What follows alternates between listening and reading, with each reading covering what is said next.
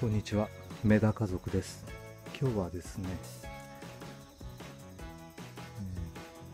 えーシュアカ透明林の光選別をしたいと思います。えーここの中水槽ですね、全部ちょっとすくって選別したいと思います。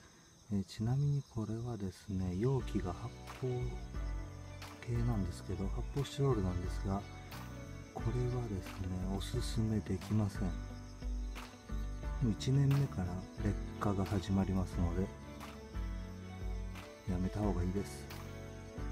あとですね鳥なんかがですねつついたりして穴を開けたりとか結構ありますんでその辺ですね考えるとやっぱりプランターが菜園プランターがやっぱり使い勝手がいいかなと思います。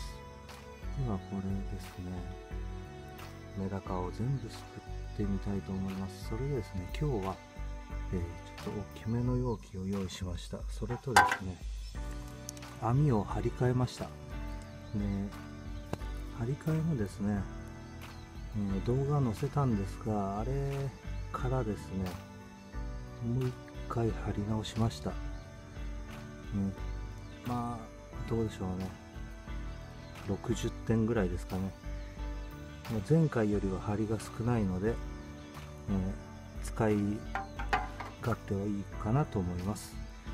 では、えーもうすでにメダカたちはちょっと警戒してますね。では一回あの動画止めます。映像を。